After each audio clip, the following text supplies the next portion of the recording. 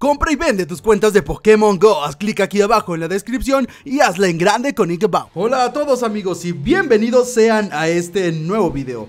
Yo soy Rizerbeck y el día de hoy les vengo a hablar de tres inciensos nuevos que serán agregados posiblemente en la nueva actualización de Pokémon Go. Como muchos de ustedes ya saben amigos, un usuario en Reddit accedió al código fuente del juego y de la nueva actualización para ver qué archivos ocultos estaban ahí metidos. Y bueno, se han estado filtrando bastantes. Pero bueno, tanto como lo que es eh, la transferencia de Pokémon y el día de hoy los inciensos. Y hay algunos más que les mencionaré en otro video. Pero bueno, como el día de hoy les vengo a hablar de los tres inciensos nuevos. Bien, tienen unos nombres amigos. No se filtró obviamente nada, ni imágenes, ni nada. Únicamente los nombres, bien, que nos dan a imaginar algo y a suponer algo que puede ser bastante interesante. Antes de comentarles esto amigos, quiero decirles que si me escuchan un poco raro es porque me cambié de locación para grabar y en este cuarto nuevo tengo eco. Pero estaré trabajando para solucionarlo lo más antes posible. Muy bien.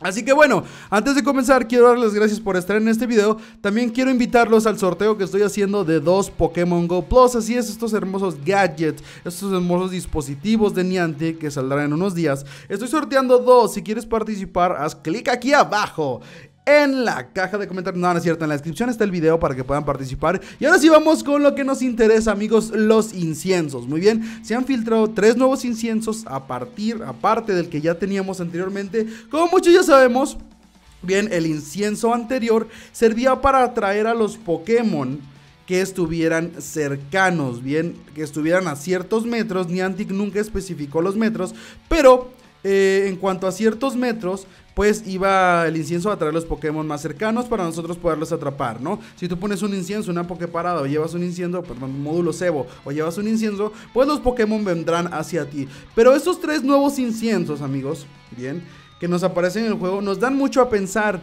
ya que realmente pues el incienso es general, ¿no? O sea, no hace nada más que atraer Pokémon. Y hay tres nuevos inciensos, llamado uno floral, otro se llama spicy y otro cool.